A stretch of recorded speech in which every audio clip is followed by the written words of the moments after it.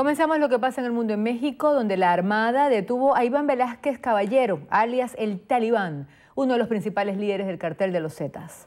El Talibán fue detenido en el estado de San Luis Potosí, donde se estableció por las pugnas de poder dentro de la organización criminal. Por su captura se ofrecía una recompensa de 30 millones de pesos. En Siria, más de 300 personas murieron el miércoles, convirtiéndose en el día más sangriento desde el inicio de la revuelta contra el régimen de Bashar al-Assad en marzo de 2011.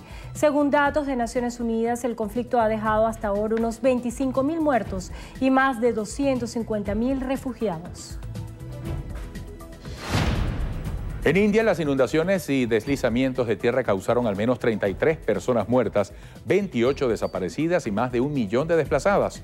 Los equipos de desastres iniciaron operaciones para movilizar a la población hacia terrenos altos en helicópteros y botes inflables.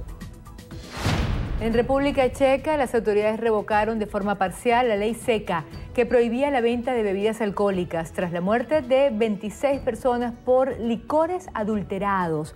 Con la nueva normativa, se podrán vender en los establecimientos las bebidas embotelladas antes del 1 de enero de 2012.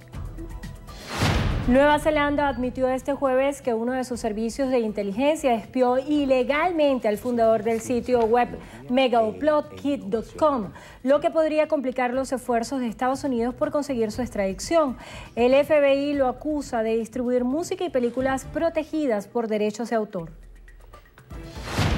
Amigos, y un animalito que está causando sensación en Internet es el loris, una especie de primate nocturno y carnívoro originario del sur asiático que vive en la selva tropical. En los últimos años se convirtió en una popular mascota exótica a pesar de las alarmas de que su comercialización contribuye a su extensión.